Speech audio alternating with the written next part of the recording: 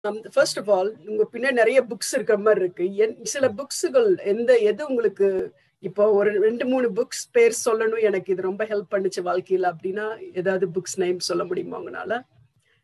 ஏன்னா அது ஒரு நான் ரீடிங்ன்றத ஒரு கல்ச்சர்னு நான் பார்க்குறேன். அப்படி பார்த்தீங்கன்னா என் வாழ்க்கையில வந்து முதல்ல எனக்கு ஹெல்ப் பண்ண புக் எதுன்னு கேட்டா நான் நிறைய பேர்கிட்ட சொல்லியிருக்கேன். காமிக்ஸ் தான் எனக்கு ரொம்ப ஹெல்ப் பண்ணுச்சு அப்படின்னு. சில பேர் அது இதுலாம் சொல்லுவாங்க வந்துட்டு. அதாவது தத்துவ நூல்கள் அதெல்லாம் சொல்லுவாங்க. எனக்கு வந்து ஜெய கிருஷ்ணமூர்த்தி ரொம்ப ஹெல்ப் பண்ணாரு. அது பண்ணாரு. நான் இது படிச்சேன் அப்படின்லாம் சொல்லுவாங்க. நான் வந்து பாத்தீங்கன்னா நான் கிட்டத்தட்ட ஏழு வயசுல இருந்து நான் படிக்கிறேங்க. எங்க அப்பா எனக்கு வந்து பாத்தீங்கன்னா படிப்பை வந்து ஒரு கல் ஒரு ஒரு கல்ட்டா எனக்குள்ள உருவாக்குனாரு. நிறைய புத்தகங்கள் வாங்கி கொடுப்பாரு.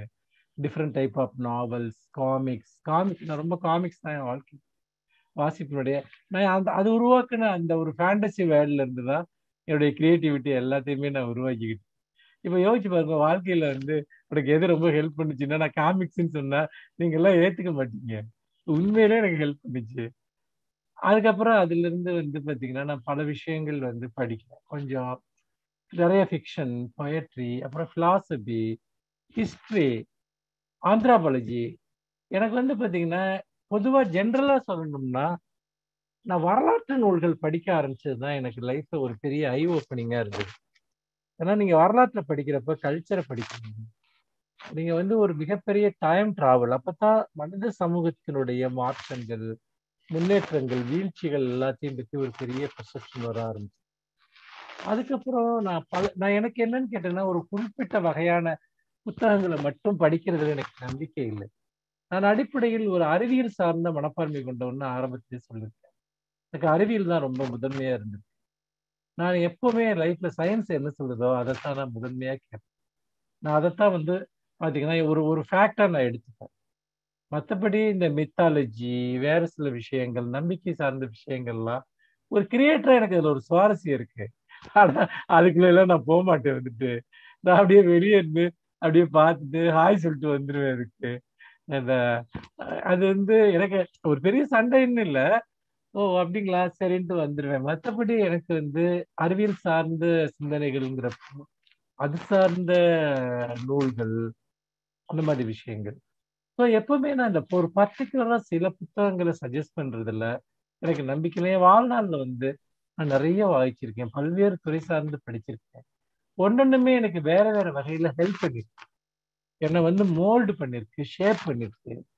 அஹ் இன்னொன்னு நீங்க என்னுடைய புத்தக வந்து அடுக்குகளை நான் நிறைய புத்தகங்கள் நான் பர்சனல் கலெக்ஷன்லேயே நான் நிறைய வச்சிருக்கேன். அபார்ட் ஃப்ரம் நான் ஒரு பப்ளிஷருங்கிறத தாண்டி நான் நிறைய புத்தகங்கள் நான் வாங்கியிருக்கேன் படிச்சிருக்கேன். அது என்ன விஷயம்னா சில புத்தகங்கள்லாம் பார்த்தோன்னு நண்பர்கள் நீ இதெல்லாம் படிப்பியான்னு கேட்பேன். நான் இப்போ வந்து ஒரு ரொம்ப ஒரு ஒரு ஒரு ஒரு ஒரு ஒரு ஜென் பொயட்ரி புக் என்கிட்ட இருக்கும். நான் அதை வாய்ச்சிட்டு இருப்பேன். அதுக்கு பக்கத்துலயே இன்னொரு புக் இருக்கு. மும்பையில இருக்கக்கூடிய டான்ஸ் எல்லாம் என்ன பண்றாங்க? அந்த அண்டர்வேல்டு எப்படி இருக்கு? அப்படிங்கிற பத்தின ஒரு ஒரு ரிசர்ச் புக் ஒன்று என் அதுக்கு பக்கத்துலயே இருக்கும். ரெண்டையும் பாக்குறவங்களுக்கு ரொம்ப விசித்திரமா இருக்கும். இவன் என்ன ஒரு ஜென் பிலாசபியை படிச்சுட்டு இருக்கக்கூடிய ஒருத்தருக்கு அது பக்கத்துலயே மும்பை அண்டர்வேல்ட பத்தின ஒரு புத்தகத்தையும் ஏன் இவன் வச்சுட்டு இருக்கான் அப்படின்ட்டு. இதுதான் என்னுடைய லைஃப் எனக்கு எதன் பேர்லயும் வந்து ஒரு பெரிய ஒரு முழுமையான பைண்டிங்லாம் ஒன்றும் கிடையாது. நான் வந்து நாலேஜுங்கிறது மேல நான் ஒரு டிராவலராக தான் நான் இருந்தேன் நான் வந்து அந்த டிராவலை நான் கண்டினியூஸா பண்ணிட்டே இருந்திருக்கேன். தெருவில் கிடைக்கிற ஒரு துண்டு பேப்பர் எடுத்து நான் படிப்பேன். அது வந்து அதே மாதிரியே நான் வந்து பார்த்தீங்கன்னா ரொம்ப ரொம்ப டெத்தான ஒரு விஷயத்தையும் நான் தேடி படிப்பேன். எனக்கு எல்லாமே ஏதாவது ஒரு விஷயத்த வந்து கம்யூனிகேட் பண்ணிட்டே தான் இருந்திருக்கேன். அதுதான் நல்லா இருக்கு வந்துட்டு நம்ம வந்து நம்முடைய எல்லா கதவுகளையும் திறந்து வச்சிருக்கணும். ஓஷோ வந்து ஒரு இடத்துல சொல்லுவார். மலை மீது இருந்து பார்ப்பவர்களுக்கு பல பாதைகள் தெரியும். நீங்க ஒரு மவுண்டைன் மேல இருந்து உங்க ஊரை பாத்தீங்கன்னா உங்க ஊருக்கு வர்றதுக்கு எத்தனை பாதைகள் இருக்குன்னு உங்களுக்கு தெரியும்.